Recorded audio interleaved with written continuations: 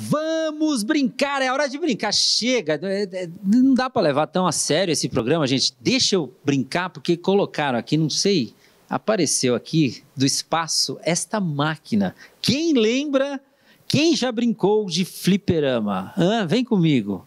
Venham comigo, porque isso aqui vai me deixar mais jovem. Né? Vai fazer eu voltar no tempo. Quem está com saudade de pinball? Eu queria só uma ajuda aqui de um cara que entende muito do assunto, porque eu não sei ligar isso aqui, eu esqueci como é que. Aliás, a gente não ligava, a gente só punha a ficha. Vem pra cá, vem pra cá, Valente! Alfredo Valente, você pode me ajudar com isso aqui, Valente. Tudo bem, Leandro? Tudo certo. Só colocar uma na tua casa lá pra você brincar aí. Põe aonde? Geralmente o pessoal põe aonde? Em casa, na, na cozinha? Na varanda, no quarto, no salão de jogos, onde quiser. Muito, muito legal. É, isso aqui faz a gente lembrar de quando tinha. Eu, eu lembro de quando eu tinha 12 anos de idade. São nostálgicos de plantão vocês hoje vão viajar aqui comigo. Vamos ligar, essa aqui é da SEGA. Essa é uma, uma, uma pinball da SEGA. Oh, aí sim, hein? Você sabe que tinha uma, uma galerinha aí que já falsificava ficha. Essa é a original. Essa é a original. Arrancava o chumbinho lá da roda dos carros, amassava e ia brincar aí nos fliperamas da vida. Que Brasil. Vamos lá, vamos começar então. Opa, pera aí.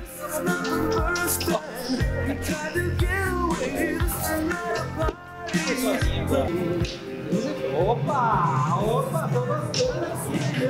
Ó.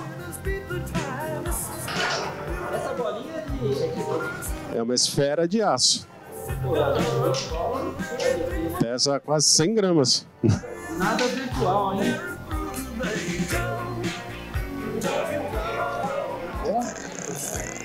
Ela prende a bolinha. Tem hora que solta quatro bolinhas ao mesmo tempo, né? Essa versão de máquina. Tem os modelos mais complexos, outras mais simples. Aí caiu a bolinha, ela vai dar uma pontuação lá. Soma os pontos que você fez e vai vai até o final. Ué. Muito bem! Ó, se você quiser deixar umas fichinhas aqui comigo, eu não vou reclamar, não. Senão eu vou ter que ir lá tirar do carro e. Pô, aqui na tua mesa, aí depois você brinca. Olha, muito legal. É, você sabe que tem um amigo que já está chegando aqui no estúdio, teu amigo também, o André Martinez. Ele acaba de escrever um livro sobre a história da Taito no Brasil.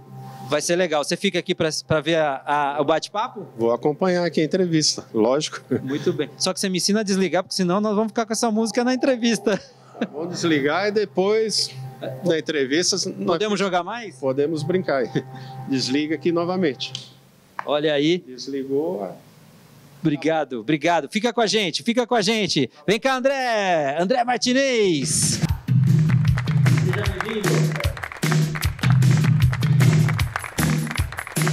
É isso aí, garoto. Muito bom, hein? Tudo bem, Leandro? Gostei, tava brincando ali. Eu tô vendo que você se divertiu mesmo ali, hein? Você vê, olha, se não é o Valente para trazer um pouco de entretenimento aqui para este palco, eu vou te falar. Mas você também trouxe uma história que vai deixar muito nostálgico feliz, hein? A história da Taito, ó, fresquinho. Mais um livro, André Martinez? Mais um, Leandro. 19 livro, entrando aí no 14 ano de carreira. Né? É, em 2009, vamos fazer um pouco de nostalgia agora aqui também. Em 2009 você cobriu o meu segundo livro, que a gente teve um lançamento aqui em Mogi, no Mogi Shopping e tal. Foi de lá para cá, vieram outros 17 livros. E agora aí fazendo aí essa, essa história aí da Taito, que com certeza é nostalgia pura, e eu tô ouvindo isso desde a hora que eu cheguei aqui com a galera da produção, aí todo mundo falando. É, olha, é impressionante, né? Nós, seres humanos, como a gente gosta é, de lembrar das coisas, né? É, crianças de 10 anos de idade já têm a sua nostalgia. Imagina nós que temos 25 anos é, é, em cada perna, quase, praticamente. E a Taito é, é uma história muito envolvente. O que, que você descobriu pesquisando sobre a Taito e eu já queria emendar por que fazer um livro falando sobre a Taito, que é, representa tanto né, na galera que gosta de fliperama, de que gosta de pinball. Então, essa é uma história até inusitada, né? Um pouco, até um pouco engraçado. Porque eu não joguei fliperama, eu não vivi. Eu, Você eu não é dessa eu época? Não, eu sou dessa época. É? sou, eu sou. Mas eu não, não fiz parte dessa tribo do fliperama, vamos dizer assim, né? E eu já havia feito livro de futebol, já havia marcado alguns gols aí, né? Fiz livro de MMA, treinei em boxe, fiz livro de piada, contei algumas piadas, mas de fliperama eu escrevi e nunca tinha jogado. E o- Zé Américo, do Café com Bobagem, é, ele é muito amigo do Luiz Kulik. O Luiz Kulik é um dos caras mais loucos e apaixonados que eu conheço na minha vida. Ele tem 110 máquinas de pinball na casa dele.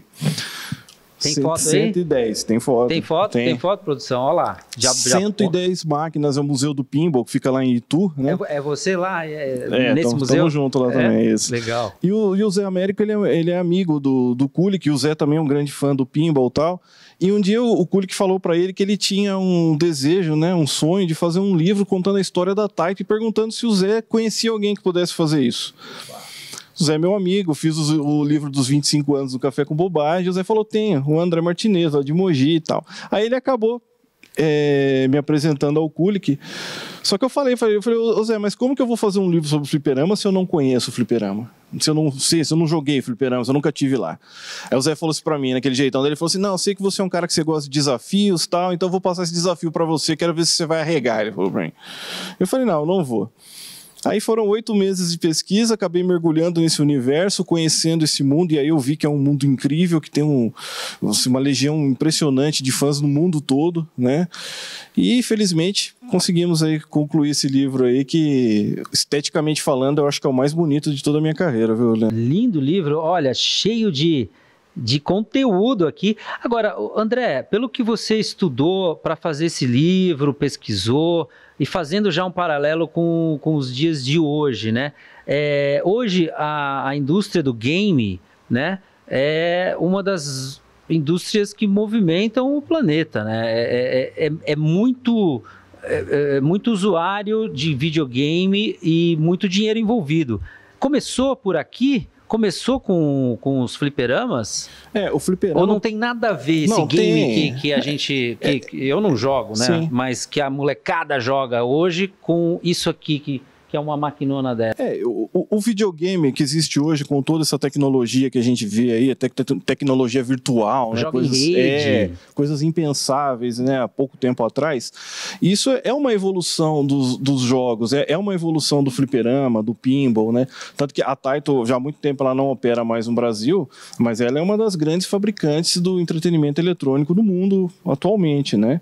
Então, é, é, movimenta milhões ainda no mundo todo. Então, é, é, é um, um ciclo, né? uma evolução que começou porque muita gente não sabe, o pinball, ele é bem mais antigo do que a galera sabe, né, do que se tem notícia, né, assim, né, tem relatos de pinball do século 17, por exemplo. Obviamente que não máquinas elétricas, tal. madeira, Totalmente, tal. é, coisas que é semelhante a uma mesa de sinuca, né?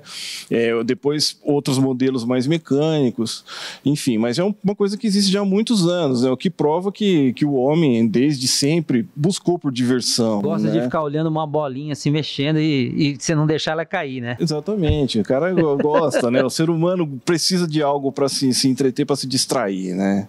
Poxa, agora a Taito, né? Uma, uma fábrica japonesa aporta no Brasil. Anos 70, é isso? É, por volta de 72, né? 72. A Taito ela é uma empresa que foi fundada por um ucraniano que morava na China e fundou a empresa no Japão.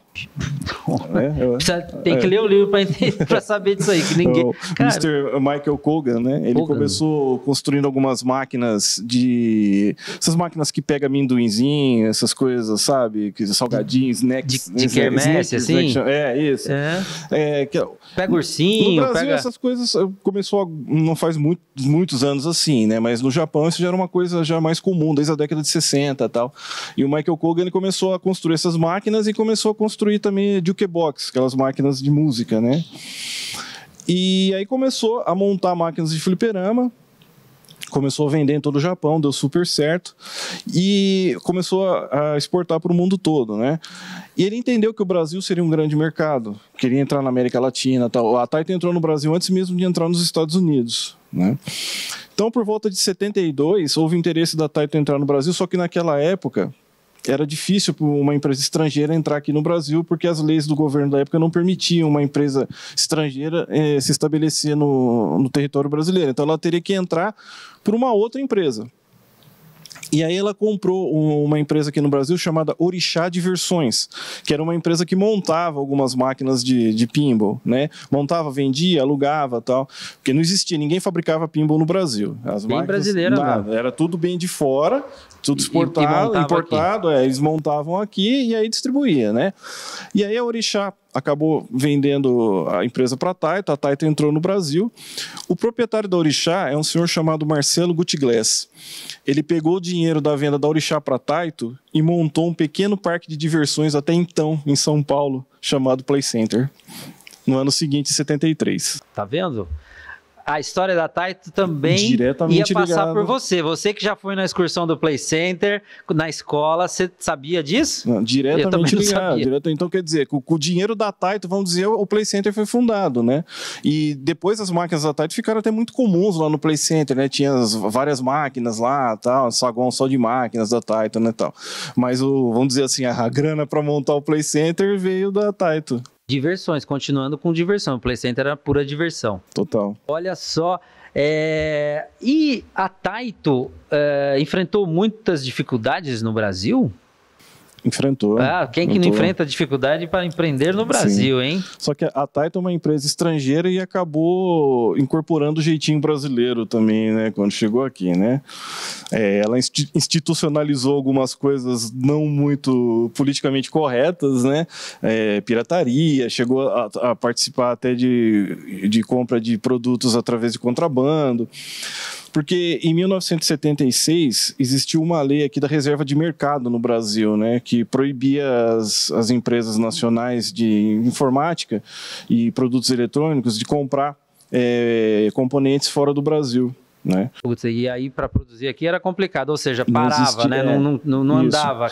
E a Taito, ela, ela, tem, ela, entrou no Brasil e ela, de 72 até meados de 77, ela não construía as máquinas aqui, ela continuou importando material de fora montava aqui e aí ela revendia as máquinas né, de, de sucessos de outras empresas para fora.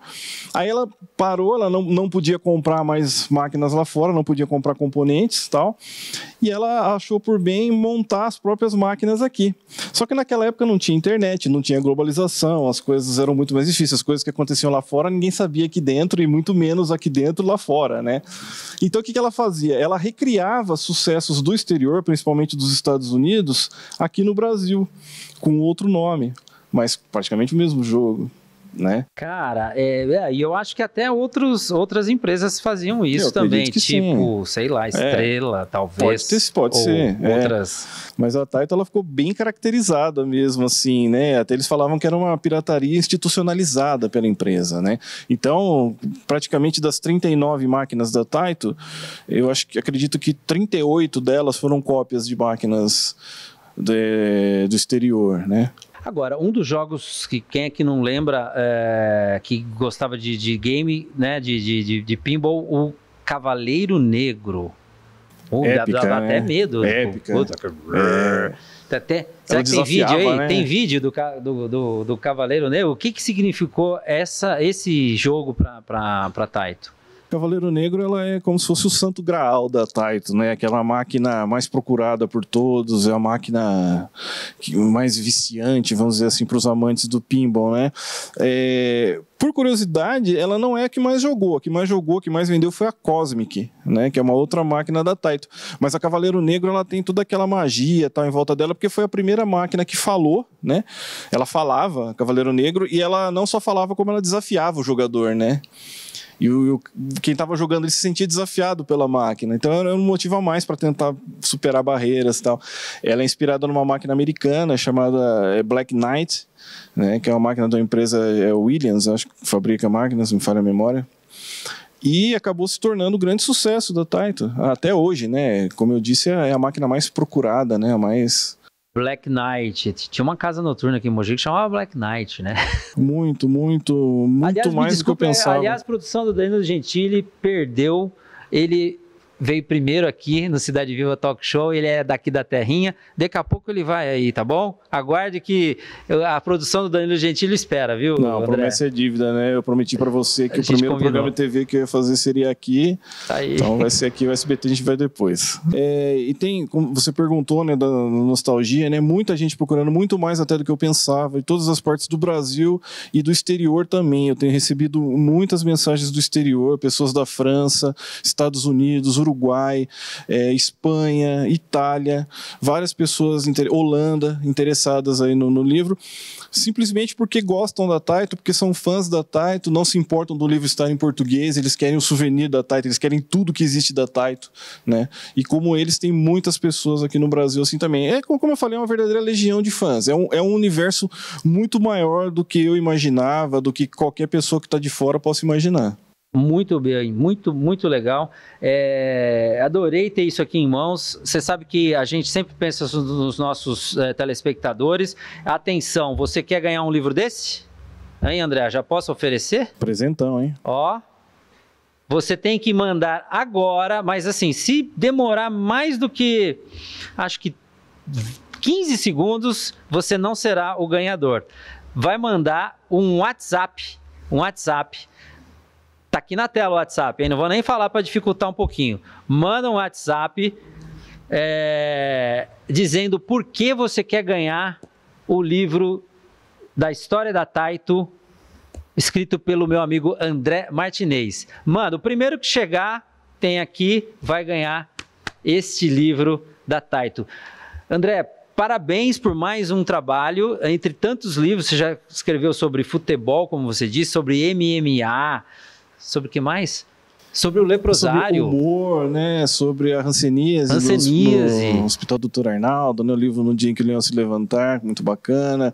É, fui pioneiro, né? Nos livros de MMA, fui o primeiro cara do Brasil que fez um livro de MMA também na época e agora do, do Fliperama também, acho que não, não tem nenhuma obra assim, pelo menos eu não conheço. Muito legal, para descontrair agora a Taito. E quem infelizmente não conseguir ganhar este livro vai poder comprar direto no site do André Martinez, hein? É isso, é www.andremartinez.com.br. Tá aqui embaixo, né, Leandro? Tá aí? www.andremartinez.com.br. Lá a pessoa pode adquirir o livro, recebe em casa, pode comprar até em 18 vezes no cartão de crédito. Pode fazer até um crediário 18 comprar o vezes? É, pode. Pô, então é moleza. É tá moleza. Oh, é... Ah, lembrando, hein, você que mandar o WhatsApp tem que, tem que dizer o seguinte: por onde você viu esta mensagem? Foi pela televisão? Foi pelo Facebook? Ou foi pelo YouTube? Você tem três caminhos para dizer, para assistir esse programa todo dia. Então, ou é pela TV, ou é pelo YouTube, ou é pelo Facebook. Conta por onde que você viu essa mensagem para ganhar esse livro aqui. André Martinez, Taito, a história desta empresa cheia de mistérios, cheio de história, que está tudo aqui nesse livro. Parabéns, André. Obrigado, Sucesso. Leandro. Muito Vamos jogar obrigado. mais? Vamos jogar um pouquinho? Nossa, você tem que me ensinar, porque eu tô vendo que você tá jogando, você tá barbarizando tô... na máquina aí, eu escrevo Vambora. melhor do que jogo. Vamos lá, vamos Então vamos lá. lá.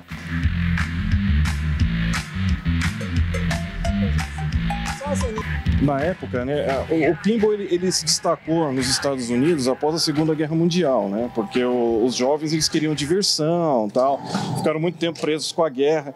Então o pinball ele surgiu como uma forma de daquele tempo perdido todo, né? Só que aí o, os jogos acabaram chegando nas crianças também, né? Muita criança estava jogando pinball, né? Aí o, o, prefeito de Nova York, Henry de la Guardia, ele achava que o, o jogo de pinball estava tirando o lanche das crianças, estava tirando o dinheiro do lanche das crianças. Em vez de comprar o lanchinho, ia lá e comprava. Jogava, é. E aí ficou uma coisa assim imoral, né? Ficou uma coisa ligada à vadiagem, tal, esse tipo de coisa. E em Nova York, depois em vários outros estados americanos, acabou se tornando crime, né? E as máquinas foram literalmente destruídas, né? Eles destruíram mesmo a, a, as máquinas existentes na base da marreta tal, né? E essa proibição, ela continuou até 1976. quando teve uma junta de juízes e promotores lá nos Estados Unidos, eles tiveram que chamar um jogador profissional, o Roger Sharp, que é considerado um dos maiores jogadores da história, né, para ele provar que o, o, o, pinball era um jogo de, de habilidade, né? E não era um jogo de, de azar, como era caça-níqueis, por exemplo, tal, que a pessoa poderia jogar que ela não ia ser roubada, né? E aí acabou sendo liberado. E aí surgiu uma expressão que é muito comum no, no mundo do, do pinball, que é game of skill, né? Que é jogo de, jogo de habilidade. Então, essa, essa expressão ela vem desde essa época aí da, da liberação, vamos dizer assim, do pinball em 76, né? É sempre envolvido em aula da proibição, e aí toda aquela aura em volta, né? E quando libera, aí a galera é um sucesso mundial, né? Na realidade, o pinball ele foi marginalizado nos Estados Unidos, mas ele sempre existiu, né? Sempre existiu nos guetos, sempre existiu nos, nos bares clandestinos, né? Então sempre tinha alguma máquina lá, né? Mas as máquinas que eram pegas pela, pela vigilância lá americana, elas eram destruídas, né? Literalmente destruídas, né? awful strong this one.